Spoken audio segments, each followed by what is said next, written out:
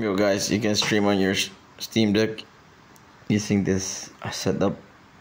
This one is uh, Arzopa 144 hertz.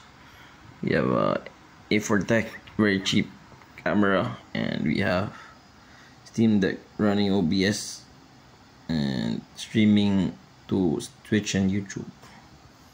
Mm, uh, not simultaneously. Yeah. Then I have a keyboard right here, K480 and MX Master 3S. Yeah. That's all you need, guys. And then light right there, just turned off right now.